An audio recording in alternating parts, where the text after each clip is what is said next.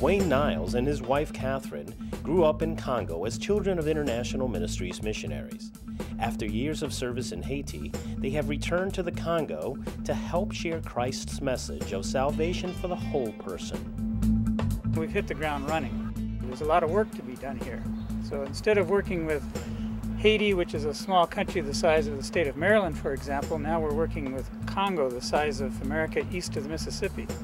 The um, project that we're here for uh, is actually going to be closely tied with the public health because you can't get good health just by taking medicine. You have to eat well, you have to have money, so forth. A lot of the problems that cause poor health are social, economic.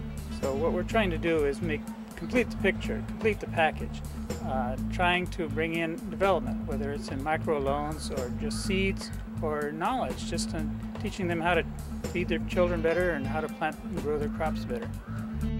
The project is going to work through the same network that already exists in the health system. We're actually going to try to use this to try to help finance the salaries of the clinics at the lowest level, the small health posts.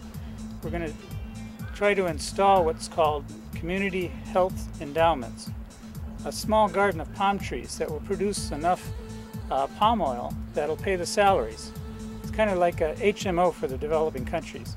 The community has to come and work and, do the weeding and planting and so forth, but then they get to be consulted for free. It's hard to preach to people that are starving and uh, or who are very sick and uh, you can't heal people by just giving them medicine. They quite often they feel they become sick because they've been malnourished, uh, poor.